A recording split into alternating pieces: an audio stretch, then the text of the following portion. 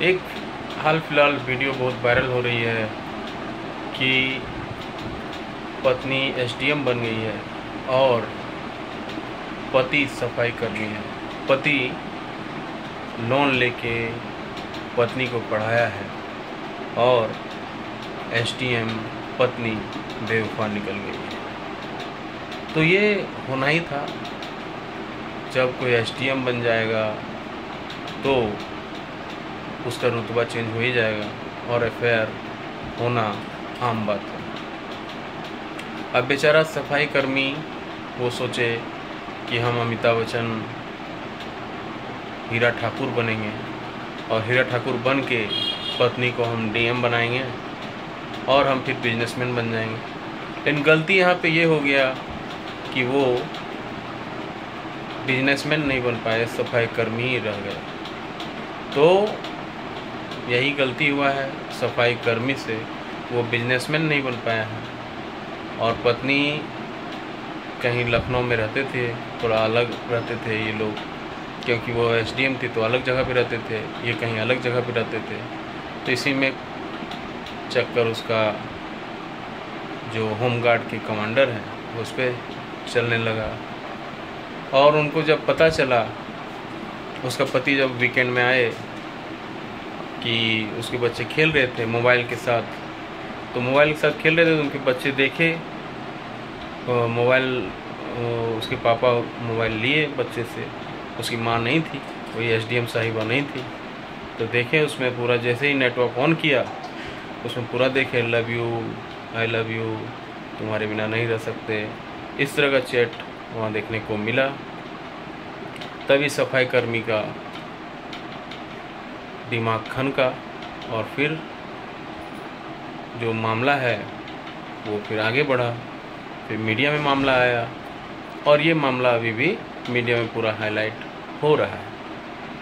तो इस कहानी से आपको क्या शिक्षा मिलती है? कि नैतिकता होनी चाहिए। नैतिकता नहीं रहने के कारण ये सारा चीज़ हो रहा है। ये चीज़ इतना तूल नहीं पकड़ता। अगर वो एस नहीं रहती तो इतना तूल नहीं पकड़ता। लेकिन चूँकि वो एस है, बहुत ऊँचे पोस्ट पोस्ट है ये। ऊँचा पोस्ट है, बहुत बड़ा रुतबा है। और इसलिए ये जो मामला है, पूरा गंभीर हो गया है। और नैतिकता जो है, ख़त्म हो रही है समाज में। इसका एक जीता जागता उदाहरण है। अब इस पर क्या टेक होगा? नैतिकता के आधार पर क्या एस डी साहिबा को निकाला जाएगा? या उसका प्रमोशन रोक दिया जाएगा, ये तो देखना वाला बात होगा। ये योगी सरकार क्या करते हैं? फ़िलहाल योगी सरकार क्या किए हैं? वो जो कमांडेड है, जो थर्ड पार्टी यहाँ पे एंट्री किए हैं, उसको कहीं दूर ट्रांसफ़र कर दिए हैं। उसकी पत्नी भी उस पर आरोप लगाया है। उस पर भी जाँच पड़ताल हुआ तो पता चला कि चार पाँच औरत से उसका अफेयर ऑलरेडी चल रहा था। और ये एस डी एम साहिबा भी उनमें से एक है। तो ये पूरा मामला कुल मिला के कितना गंभीर हो गया है। ये देखने को मिल रहा है। जब समाज में इस तरह का बात फैलती है तो किस तरह से बदनामी एस डी एम साहिबा का हो रहा है और उसका पति का तो जो हो रहा है, सो तो हो ही रहा है बेचारा, रो रहा है इधर उधर। और पूरा मीडिया उस, उसके पति के साथ है। लेकिन केवल साथ रहने से उसका दुख दर्द दूर नहीं हो सकता है। उसका क्या निवाकरण होगा, उसका तो कोई नहीं जानता है। लोग भी ऐसे आ गए हैं कि एडल्ट किसी के साथ भी रह सकते हैं। उस पत्नी का कुछ नहीं हो सकता है।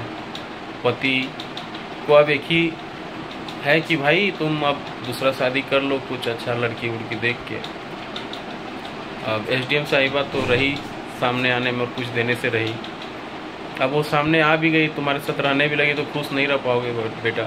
तो दूसरा शादी कर लो कुछ अच्छा लड़की देख के, यही है।